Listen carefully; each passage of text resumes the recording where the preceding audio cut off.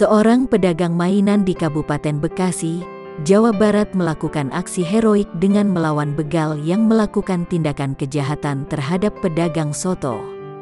Penjual mainan bernama Kang Emon itu melakukan penghadangan pada begal yang berupaya merampas motor korban.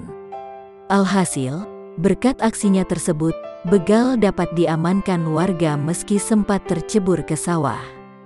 Peristiwa ini terjadi di Jalan Raya Sukawangi, Kampung Balong Poncol, Desa Sukawangi, Kecamatan Sukawangi, Kabupaten Bekasi, pada Jumat, tanggal 6 Agustus tahun 2021, sekira pukul 6 waktu Indonesia Barat.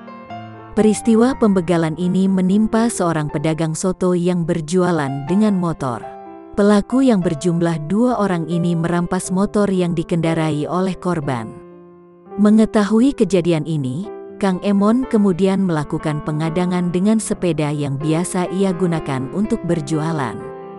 Akibatnya, pelaku tersungkur ke sawah dan menjadi bulan-bulanan warga.